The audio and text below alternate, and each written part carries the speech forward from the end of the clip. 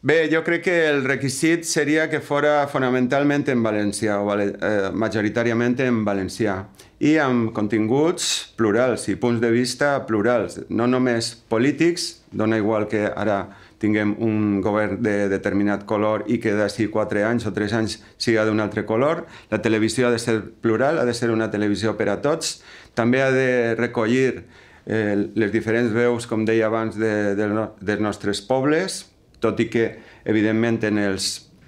programes, diguem, eh, eh, informatius i culturals s'ha de parlar un valencià estàndard, està molt bé que també en les entrevistes i en altres tipus de programes puguem escoltar les diferents varietats de, de la nostra llengua. I els continguts també han de ser molt variats, des d'esports, eh, cultura,